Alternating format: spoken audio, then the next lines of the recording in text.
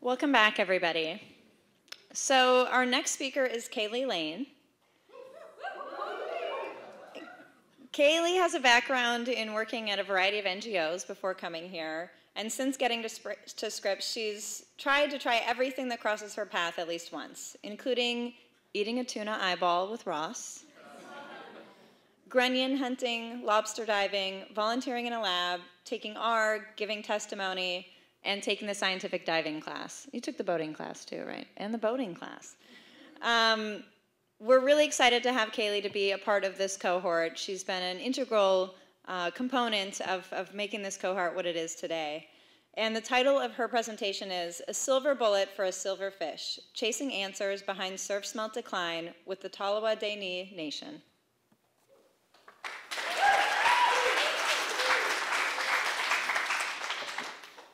Hi.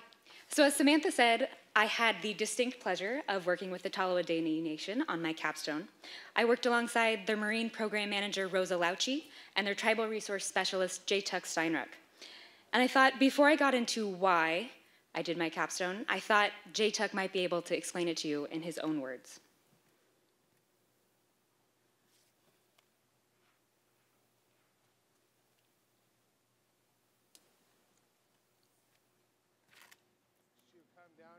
And there would be hundreds of campfires up and down this beach, and they were all families camping on the beach to dry snow. And normally, you can sit down here and see cormorants fly by, and then they'll start diving. And normally, there's like harbor seals and sea lions at times that'll roam the surf. When I was down here this year, I didn't even see one seal looking for smelt. So we look at those natural indicators to tell us when the smelt are here. The last time we caught enough fish to dry on this beach was four years ago, 2014.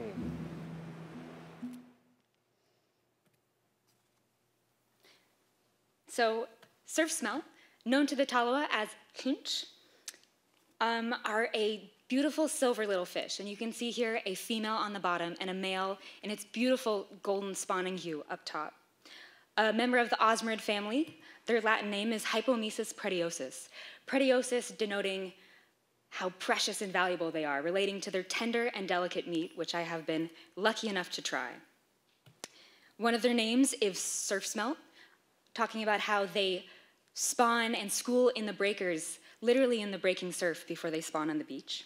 Silver smelt, and finally dayfish, referring to how they spawn during the day. So they are a forage fish, and this spawning and schooling behavior is very characteristic of these fish. They provide a very important role, almost essential in transferring energy up from their planktonic prey up to predators uh, in, ranging from whales, seabirds, sea lions, and a whole uh, host of other variety of predators. So the one thing that sets them apart from a lot of these larger fish, uh, larger schooling fish like sardines and anchoveta that have recently gathered a lot of scientific attention is that they spawn on the beach. They coined the term sex on the beach, truly. At certain times of year, after cer certain falling high tides, with certain environmental cues, surf smelt gather near beaches and they run in one mass upwards onto shore. Some environmental cue drives them to abandon the safety of the water and create the next generation on our beaches. They literally risk their lives to run the gauntlet of both marine and terrestrial predators, exposing themselves and their offspring to almost anything. And then their very tiny embryos settle into a very specific type of gravel that they seek out, that we call pea-sized gravel, about one to seven millimeters in diameter, where it sticks to the gravel and then incubates on land in a matter of weeks. This is no small feat on the northern coast of California, where wave heights average nine feet. One fisherman told me that they literally wait for the wave to boil until it becomes a struggling, writhing, wriggling mass of surf smelt struggling against each other before it crests and falls and collapses back into the water. So it goes without saying that these eggs stand to be reasonably hardy, exposed to water and air and the various elements. Experts surmise that because the beaches of Northern California were never exposed to glaciers, Northern California surf smelt spawning sites might conceivably have been quasi stable for millions, if not thousands of years. It's possible that they're even their own species. And the Tolowa Dee-ni' like to say that they've been harvesting these smelts since time immemorial. Presently, the Tolowa Dee-ni' are the only tribe still practicing fish camp. That makes it all the more frightening then when 90% of Tolowa Dee-ni' members cited surf smelt numbers as being worse or significantly worse than when they were children in 2016. This is unfortunate though because surf smelt is what we would characterize as a data poor fishery. PFMC said it was of minor significance that same year that the tribal harvest saw that it was threatened in 2011. NOAA described it as having inadequate life history. And then finally, the Monterey Bay Aquarium cited it as vulnerable only because of its lack of formal stock assessments. So, what's a fish to do? the Tolowa will not sit back on their heels just because the state doesn't know anything about these fish. They went after their own data. So, my capstone centered around three different things. I stepped in to assess TDN's collected data in what is currently the only surf smelt habitat assessment happening in California. I centered around the following three topics. I studied and pulled data from their traditional ecological knowledge database. I visualized their self collected GIS habitat assessment data. And then finally, I spent hours poring over commercial landings data collected from California Fish and Wildlife. The first part of my data centered around traditional ecological knowledge.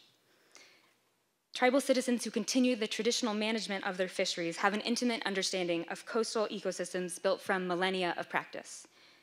It's no coincidence that while only 2% of lands fall under tribal management, 80% of the world's biodiversity falls on these lands. Traditional knowledge is increasingly recognized as a unique expertise and its ability to inform conservation management and policy resources. The TDN are no stranger for standing up for their right to harvest, having taken a vocal role in the Marine Life Protection Act initiative um, and gaining the right to harvest within MPAs. The main offshoot of this project was a traditional ecological database with geospatially linked archival data and interviews stretching back to 1850. I was able to pull this data to visualize documented surf smelt locations here.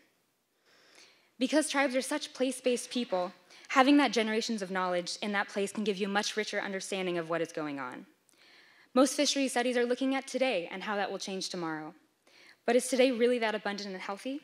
How can we know if our baselines have shifted?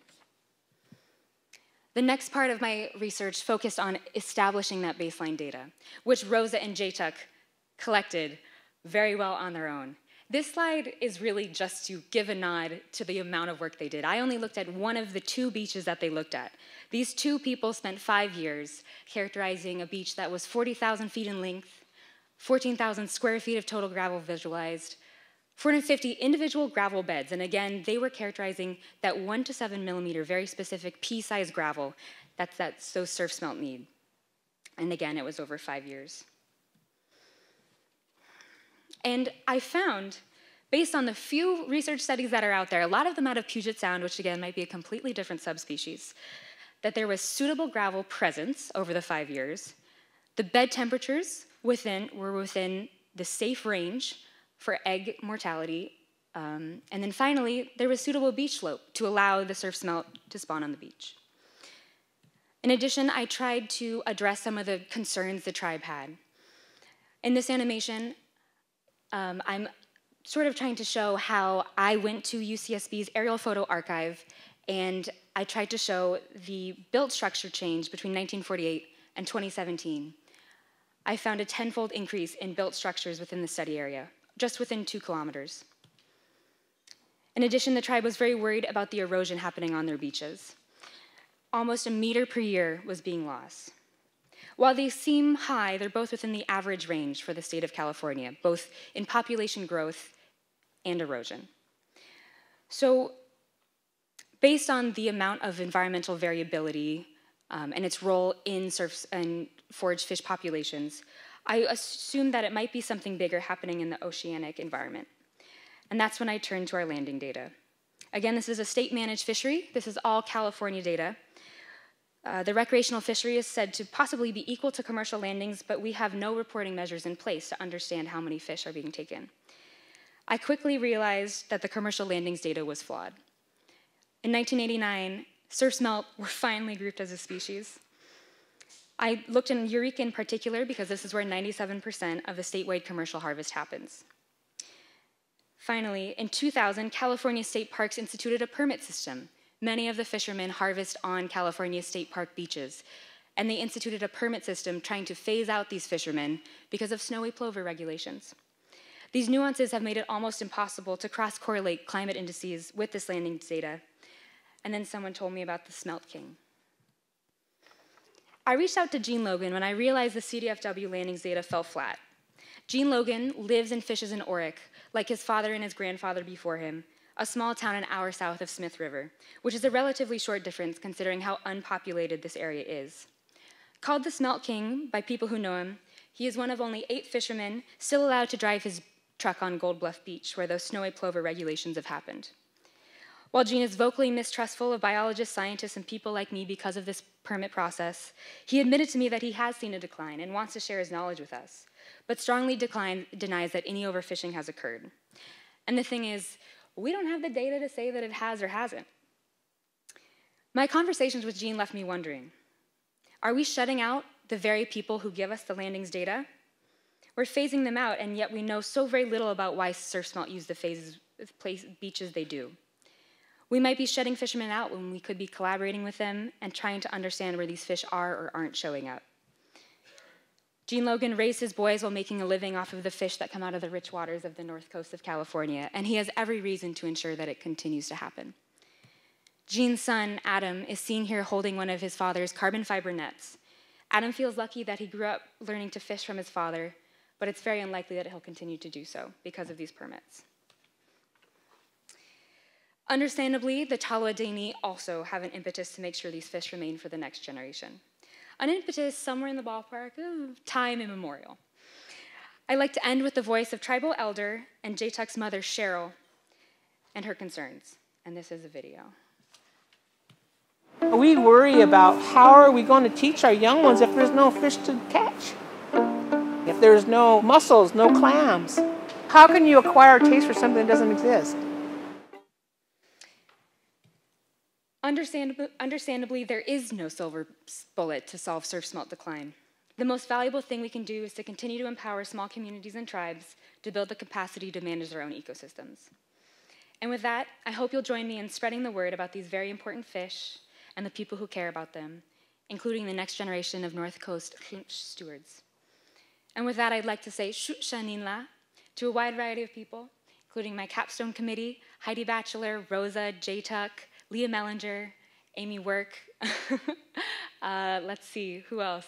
Uh, Samantha, Risa, and my entire class, as well as Art Miller um, and Elena. Thank you so much.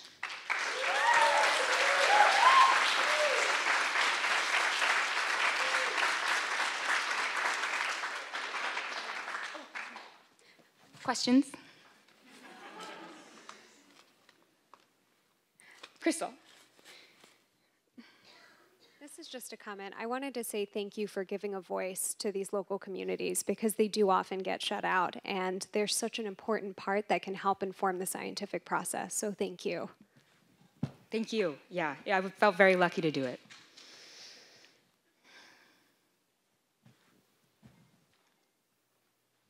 Can you tell me a little bit about how it was uh, those conversations with the Smelt King went? Because you know they sound crazy. Thank you, Raynone. Yes, um, Gene is not crazy at all. Um, he is just a font of wisdom and also entertainment. He, the thing I say, spread the word about Hunch or surf smelt, but it's really spreading the gospel. Um, it's a fish that we never see in stores, but it's a delicious fish that the people who catch it, tribal or commercial or recreational alike, love. I mean, I think it's really something that we're missing out. They'd really like to build the capacity uh, for people to eat this fish, and we currently don't. But I think it took a lot of trust building, just like um, working with any commercial fishermen, uh, especially up there. Um, I was also lucky that the tribe itself uh, collaborates with Scripps itself very often, and there was no need to trust build there. They're really on top of it. Thank you.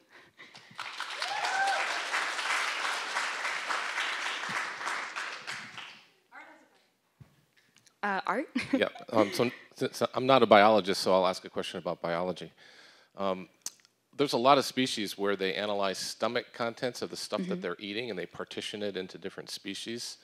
Is, are, is there any evidence of like indirect, you know, um, computation of how much smelt there was out there from stomach contents of different critters that live in the area? Yeah, thank you. That was actually um, one of the studies I really drew from and what prompted me to try to get into the climate indices, which I'm still working on. Uh, there was a study with common murres off the coast of Newport, Oregon, um, and in negative PDO years, they found a high content of surf smelt in their stomachs and sand lance, as opposed to other years when there were more clupeids. Uh, they think, obviously, like there's foraging variability in the birds in terms of if they would go to something more near shore in these in these years. Uh, but that hypothesis that negative PDOs might relate to the surf smelt is something I'm still looking at, as you know. Thank you.